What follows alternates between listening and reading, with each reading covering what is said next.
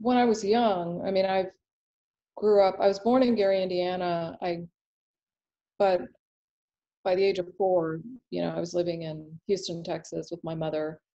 Um, my mother had left my father when I was young. And when I was in school um, in Houston, I started doing art when I was like five years old. But my mother taught me how to read and write before I went to kindergarten, um, which really shaped my life um, in really significant ways. I think it's the reason why I'm an author um, was because she, we had school every day before I could even go to school, apparently. Um, and we actually had to leave Texas because the schools there were so racist mm. that um, they wouldn't, they were holding me back. I mean, I didn't help I was in the B level reading class for my grade, and my mother knew I should be in the A level reading class, but no black kids were in the A level reading class. So she went and challenged the teacher on it, and the teacher broke down and cried and said, Please don't, you know, tell, you know, like basically call me out on this, because I guess maybe she was already in trouble with the principal. I don't know. I just never, my mother was a very soft spoken woman, and she made this woman cry.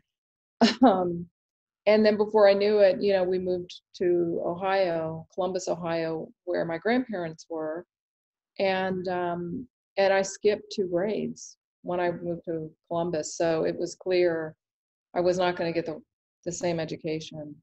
Um, so that was always really important to my mom. And like I said, I've been an artist all my life. Um, most of my by high school, I I went to a, She got me into this high school that was almost like fame. It was it was for artists, and um, I had a artist studio. And after doing all my curricula for for high school, the last year and a half, I just worked in the studio and submitted paintings for shows um, and sculpture.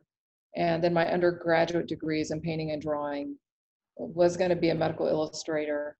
I double majored in science and then decided I wanted to make art or really promote more ideas for the masses.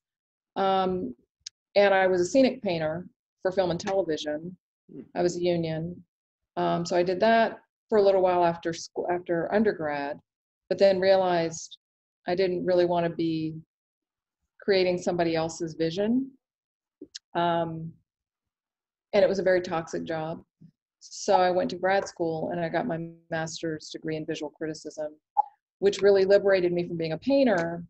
And that was when I picked up the camera. I started doing photography and writing. And then my first book, Counterculture, was on the American Diner Waitress. So that's when I really expanded this idea of cultural doc, you know, documentarian work, um, which has led me to my third book, which is Overground Railroad.